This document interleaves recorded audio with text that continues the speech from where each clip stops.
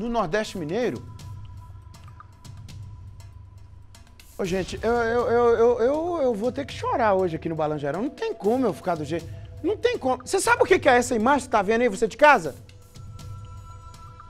É que lá no Nordeste Mineiro, um estudante de 18 anos, Lamonier, olha lá, ele ateou fogo na moto de uma professora.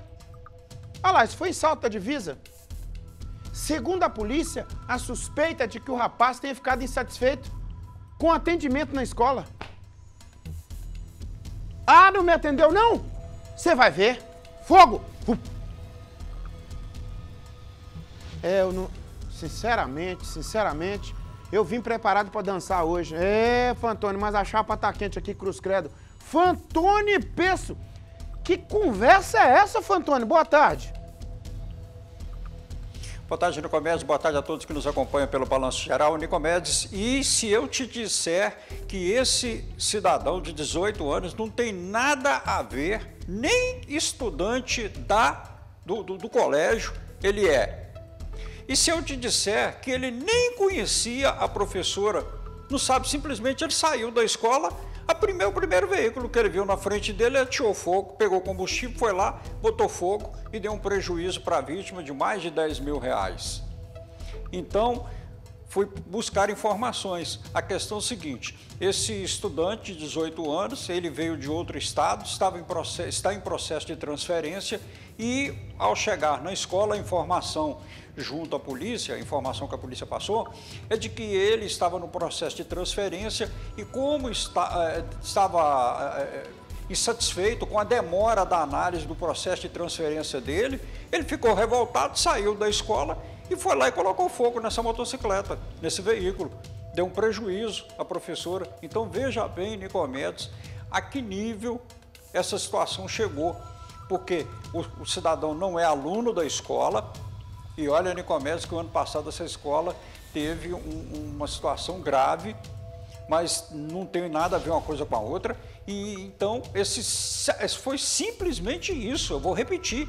Ele simplesmente, segundo a polícia, ele ficou insatisfeito com a demora da secretaria, das autoridades, dos professores, dos funcionários desse, desse estabelecimento é, de ensino, de analisar o processo de transferência dele. E aí o que, que ele fez? Saiu do lá, saiu para fora da escola, primeiro veículo que ele achou à frente, tocou fogo. Questão que ele foi preso, foi identificado, localizado, preso, levado para a delegacia de Jacinto, colocado à disposição da justiça.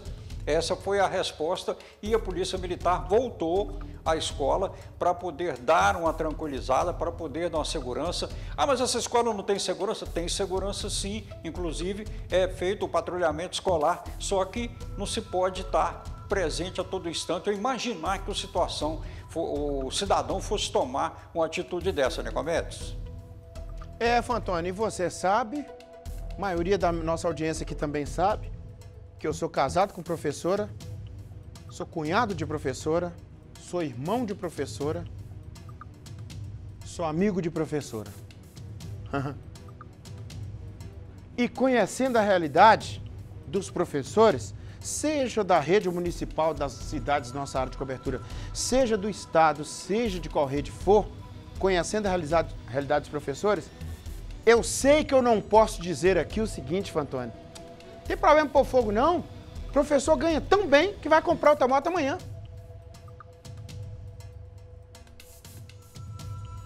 Mas a realidade não me autoriza a dizer isso. A realidade me autoriza a dizer o contrário.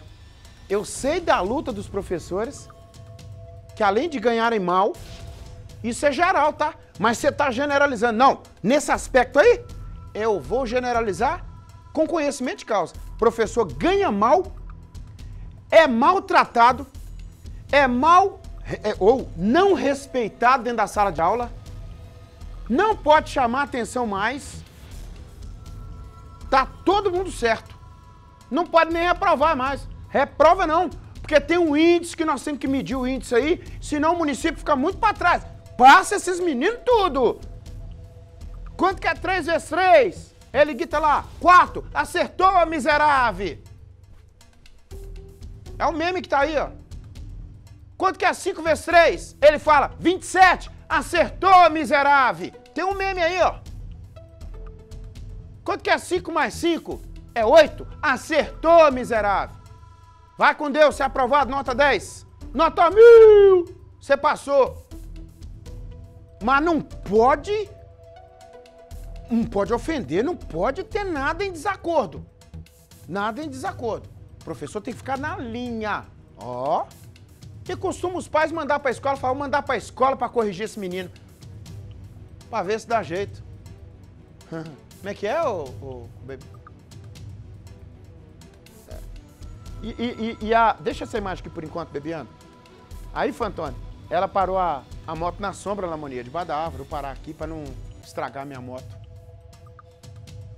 Quando ela volta, olha lá. Ah, é muita. Ah, sinceramente, me desculpa, não tenho o que falar aqui não. Eu vou chorar aqui, Fantoni. É revoltante, rapaz. E toda essa revolta, essa indignação que eu tenho aqui, eu ainda tenho que ficar olhando para cima na espada de Damocles, que existe uma espada de Damocles. Lê sobre isso em cima da cabeça da gente. A gente tem que pensar assim, não, não pode a autotutela, não pode praticar justiça própria, tem que confiar no Estado Democrático de Direito, que isso aí vai dar tudo certo. Alguém vai ser punido e a moça vai receber uma indenização. Vamos acreditar. Fantoni,